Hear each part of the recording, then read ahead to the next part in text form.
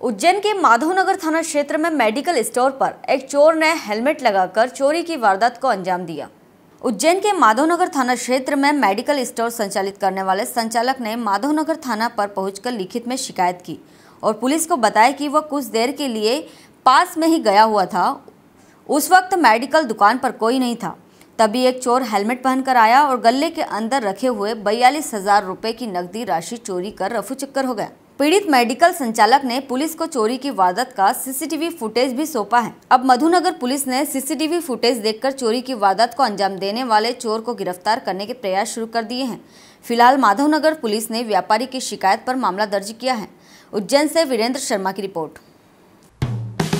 Hello friends आप देख रहे हैं हमारा channel S W twenty four news हमारे सारे वीडियो सबसे पहले देखने के लिए आप हमारे चैनल को सब्सक्राइब करें और पास में लगे बेल आइकन को दबाना बिल्कुल भी ना भूलें।